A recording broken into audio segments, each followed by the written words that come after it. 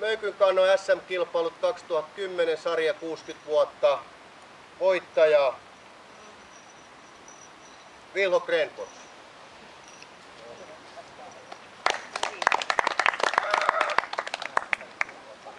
Nyt sait liian monta.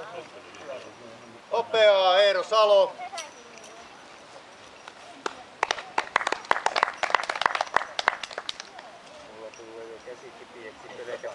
Ja pronssia Matti Ruoho uudella 70-vuotiaiden Suomen ennätyksellä.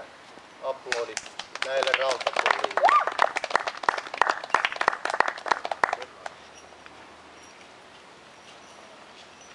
Onnittelut. Kiitoksia. Kiitos kaikille kilpailijoille. Ensi vuonna tavataan.